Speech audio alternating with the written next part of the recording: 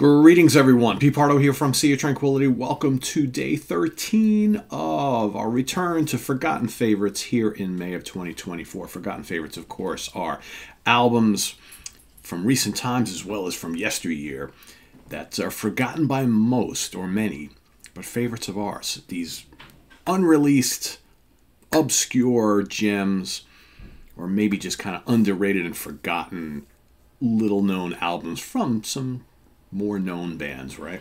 I tend to, for these shows, I tend to go with the most extreme stuff and or extremely obscure that I possibly can, uh, in hopes that turning all you guys watching onto some bands and albums that you've never heard of before that you may really really like. So this particular one, this uh, album was released in 1972 uh, for Harvest Records it is a band, I guess you can call this progressive rock, I guess.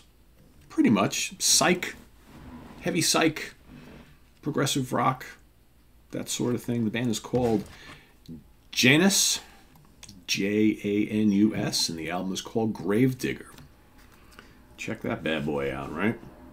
So I want to thank Mr. Ken Golden for turning me on to this this band, this album. So this was uh, their only album released at the time. I think they got back together and released another record like almost 30 years later, but uh, I have not heard that one. But this uh, this is their one only release from the 70s.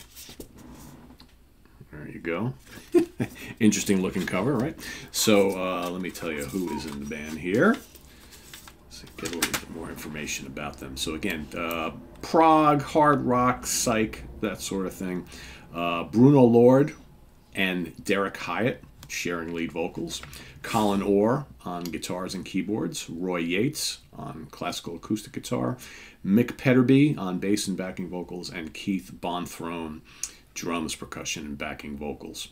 Uh, and you got some other people who are helping out on this album as well with uh, additional things like uh, Hans Jürgen Fritz, of course, great prog keyboard player, shows up on keys on a couple tracks. You got uh, some backing vocalist here and string arrangements and things like that. But uh, yeah, and these guys, I believe, were they a British band? I don't remember exactly where they came, where they're from, or they maybe mixed nationalities here. I'm not quite sure. I know, I know this uh, album did fairly well in Germany um, and, and released on Harvest in Germany, but I don't know if they were a German band or not. German English band. not quite sure. Anyway, let's talk about the album itself because I don't know a hell of a lot about this band in general. This is a pretty obscure band.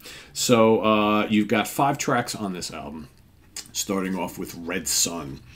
Red Sun is about nine minutes long. You get the bookends of this album are the big epic. So you got like about nine minutes for the opening track, Red Sun, and the title track is uh, closing number, which is just about 21 minutes long. Both terrific. So Red Sun is big and heavy, heavy and riffy and dark to me, to my ears, sounds like a cross between early Black Sabbath and uh, early Atomic Rooster. Think like the Death Walks Behind You album, without all the Hammond organ, obviously. Uh, really, really good album. Very cool vocals. It's got that kind of chilling, haunted kind of, uh, you know, dark sound like the, the, early Sabbath, the early Atomic Rooster, that sort of thing. Uh, then you got Bubbles and What You're Trying to Do the next two tracks, that's very different. Both of those songs are very different. Bubbles is very much like a kind of like a late 60s psych song, kind of fun. Um, same thing with what you're trying to do. Cool guitar work, some little bits of keys here and there, but then different vocal styles, but more definitely not as dark, a little bit more upbeat. And then for I Want to Scream, which is a short track just under three minutes long. That also is very much in that kind of Atomic Rooster Sabbath type of vein, back to the heavier nature of the first track, Red Sun. That's very cool as well, like that a lot. And then Gravedigger, like I mentioned, is the big, long epic to close out the album, and that totally changes gears once again. That's got this kind of like moody blues, Barclay James Harvest feel to it. It's definitely a little bit more lush and atmospheric. You've got some nice acoustic and classical guitar parts spread throughout that song. A little bit more keys on this one here, right? You got some here a little bit of mellotron, some Hammond organ, that sort of thing. Nice vocal harmonies. Very very cool song. And uh, it's when you listen to this whole album, it's kind of it's almost schizophrenic in a way because from track to track the band is like doing totally different styles but it works for me because you get lots of different feels on here. I like this a lot. This is very a very cool rarity from the early 70s for those of you who like the more psychedelic and, and heavier uh, realms of progressive rock where you call this proto proto prog or crossover prog or whatever you want to call this uh, heavy psych prog. I don't know whatever you call it. Very cool album. Gravedigger by janus Janus, Janus, however they say that. Go check it out. Of course, this is, uh, like I said, something pretty, pretty obscure. But if you go and uh, search for it on YouTube, you can listen to the whole thing and check it out for yourself and see what you think definitely worth uh, worth hearing. So uh, there you have it. My pick for today, Janus Gravedigger. Let us know if you've heard of this. Let us know what you think down in the comments below, as well as your pick for today, your forgotten favorite of today. And we'll see you tomorrow morning for another one. But tune in tonight. Of course, Hudson Valley Square is coming up at you tonight.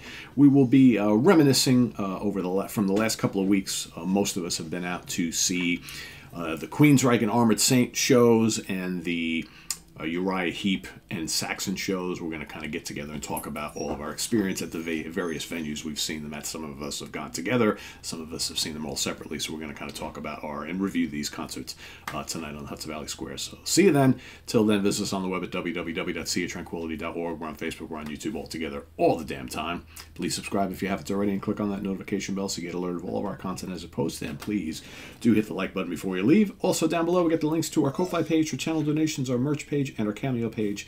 Thank you in advance for all your support there. It's always greatly appreciated. And we'll see you soon here with more stuff. I am Pete Pardo. Have a good Monday, everybody. Catch up with you later. Bye bye.